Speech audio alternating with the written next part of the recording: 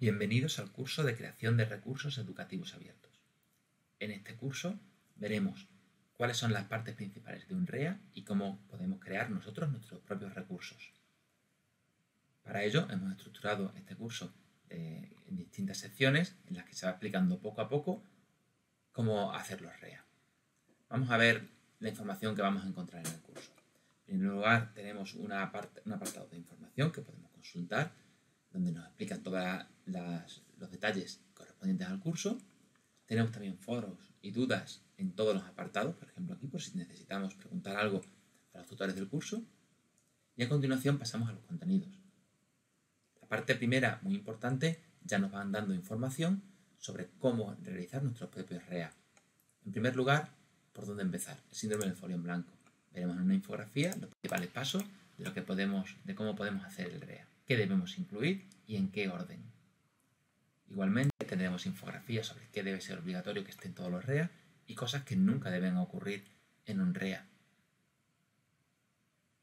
A continuación también tendremos un vídeo explicativo de cómo podría ser el proceso de un REA y en el que se va mostrando todos los pasos y se ve la creación de ese REA.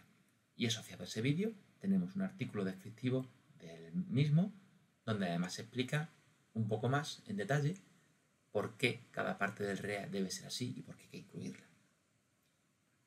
A continuación tendremos distintos materiales de referencia que se irán referenciando durante el propio curso y enlazando con las cosas que vayamos a necesitar. Muy importante la lista de cotejo en la que se describen todos los puntos que debe tener un REA bien, organizado y bien hecho. Debemos asegurarnos de que nuestro REA cumpla todas las condiciones. Podemos hacernos una copia este, de este documento en archivo, hacer una copia y así podremos ir marcando las cosas que vayamos completando para nuestro REA. Es importante que intentemos que estén todas estas presentes. Y a continuación tendremos los bloques de contenido.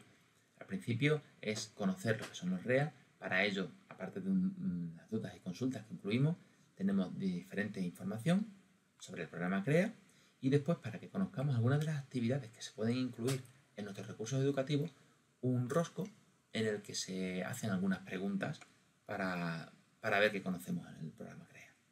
Después iremos encontrando distintas tareas en las que iremos demostrando que sabemos cómo son los REA o iremos aprendiendo a hacerlos.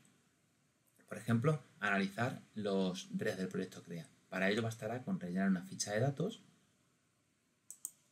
similar a esta, en la que recogemos algunos datos de la página de CREA.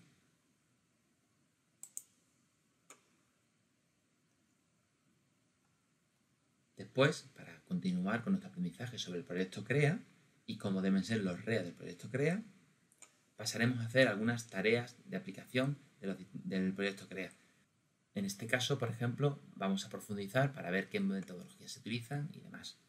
Así conoceremos algo, algo de los REAs que hay ya en el banco de recursos y tendremos más información para cuando comencemos a crear. Hablando de comenzar a crear, ya en los siguientes bloques iremos creando nosotros. Esta es la parte más importante del curso y lo que haremos será una creación pautada de un recurso educativo abierto. Se nos dará toda la información que necesitamos para crear el recurso, Tan solo tenemos que centrarnos en cuáles son los puntos que habrá para irlos interiorizando y el formato que se le va a dar, en este caso con nuestra herramienta de creación que es Excel Learning. Tendremos el material de referencia y distintas tareas. Esto ocurrirá en este bloque y en los siguientes. Por ejemplo, vamos a ver la correspondiente a este bloque. Es el comienzo. Pasamos a esa pestaña. Se trata de la creación guiada de un REA. En todo momento nos darán vídeos explicativos para todo lo que necesitemos y una descripción de lo que vamos a hacer. Nuestro REA cómo va a ser y la tarea. Se nos permite en la tarea que copiemos y peguemos todos los textos, porque además se nos proporcionan para ello. Lo que nos interesa es que vayamos interiorizando la estructura y qué debe aparecer. Entonces, se nos va a dar el texto, pero no se nos va a dar bien situado. Nos van a dar una imagen, pero no nos la van a dar licenciada, que es algo muy importante en todo REA.